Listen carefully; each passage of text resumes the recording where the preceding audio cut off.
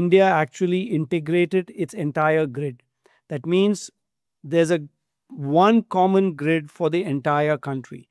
So any energy sold in Tamil Nadu can be bought in some other state in another part of the country, and you can figure out how to um, make energy flows happen. So it's not like they're all disconnected pieces.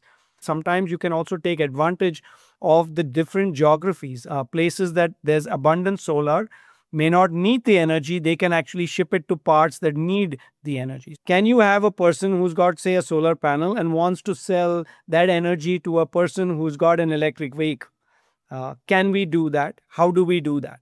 And I think that conversation is being had uh, internally. There's something called the Unified Energy Interface, which is again the question of that protocol being talked about is can you have a protocol that all providers and all recipients will use that protocol to exchange information about energy products and also exchange information about transactions, which is you now use the uh, financial network to finish the transaction, right? So you've you've transacted on this on the energy side, and then you use this to transaction on the uh, on, on on the money side.